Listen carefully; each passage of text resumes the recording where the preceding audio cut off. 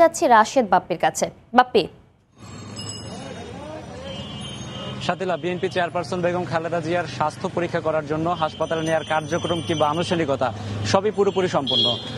এখানে সব ধরনের প্রস্তুতি সম্পন্ন করে রেখেছে আইন শৃঙ্খলা রক্ষাকারী বাহিনী। যদিও তারা আনুষ্ঠানিকভাবে আমাদের ক্যামেরার সামনে কিছু না বললেও তারা আমাদেরকে যেমনটা জানিয়েছেন যে কারাগারের ভেতরে ইতিমধ্যে গাড়ি প্রবেশ করানো হয়েছে। এখানে তারা আমাদেরকে সুনির্দিষ্টভাবে বলেছেন যে কারাগারের ভেতরে কারা অধিদপ্তরের ঊর্ধ্বতন এক কর্মকর্তার গাড়িতে করেই মূলত তাকে নেওয়া হবে হাসপাতালে। একই সঙ্গে কোন হাসপাতালে নেওয়া হবে সেটি এখনও সু- সুনির্দিষ্টভাবে তারা কেউ না বললেও কিন্তু আমরা যতটা জানতে পেরেছি যে রাজধানীর বঙ্গবন্ধু শেখ মুজিব মেডিকেল বিশ্ববিদ্যালয়ে তাকে নেওয়ার কথা রয়েছে। আর আমরা সকাল থেকে এখানে আছি, এসে যেমনটা দেখতে পেয়েছি যে নাজিমুদ্দিন রোডের যে কারাগারের আশপাশের যে এলাকাগুলো রয়েছে, সবগুলো কিন্তু নিরাপত্তা বলয়ে বা নিরাপত্তা চাদরে ঢেকে ফেলা হয়েছে। একই সঙ্গে এখানে যে যানবাহনগুলো চলাচল করছে, সেটিও কিন্তু যানবাহন চলাচল নিয়ন্ত্রণ করা হচ্ছে এবং যারাই এই নাজিমুদ্দিন রোড বা কারাগারের আশপাশে যারা যাতায়াত করছেন, তাদের কিন্তু প্রত্যেকেই তল্লাশি করা হচ্ছে। সুতরাং বলা যেতে পারে যে কোনো মুহূর্তে এখান থেকে খালেদা জিয়াকে, বেগম খালেদা জিয়াকে নিয়ে যাওয়া হবে হাসপাতালে তার শারীরিক পরীক্ষা করার জন্য। আর আপনি জানেন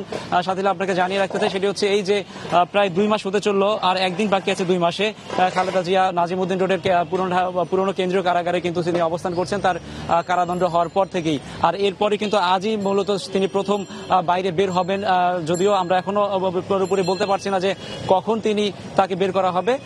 তারপরেও বলা যায় যে তাকে বের করা হবে এবং তারপরে কিন্তু নির্ভর করছে চিকিৎসকরা তাকে কি ধরনের চিকিৎসা দেয় এবং তার শারীরিক পরীক্ষার পরে কি ধরা পড়ে তার উপর নির্ভর করবে মূলত তাকে আর কি কি চিকিৎসা দেওয়া হবে বা তার চিকিৎসার প্রক্রিয়াটা কি হবে।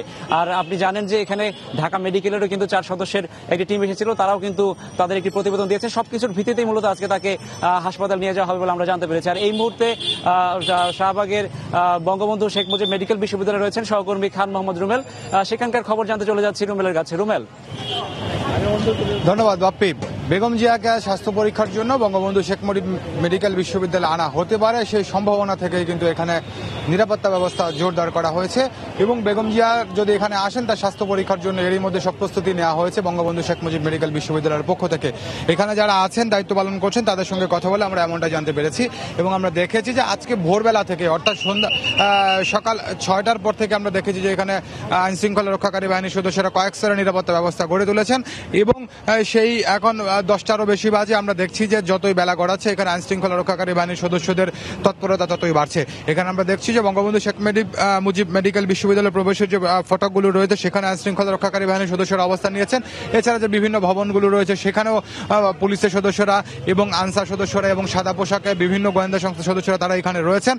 এবং আমরা এই মুহূর্তে এখানে দেখছি যেটি কিছুক্ষণ আগেও ছিল না যে জেল পুলিশের সদস্যরা তারাও এখানে অবস্থান আহ, নিয়েছেন অর্থাৎ আমরা সকাল সাড়ে ছটা থেকে এখানে আছি। সেই সাড়ে ছটার থেকে শুরু করে এর আগে আমরা পুলিশের সদস্যদেরকে দেখেছিলাম, বিভিন্ন নিরাপত্তা বাহিনীর সদস্যদেরকে দেখেছিলাম, কিন্তু জেল পুলিশের সদস্যরা কিন্তু ছিলেন না।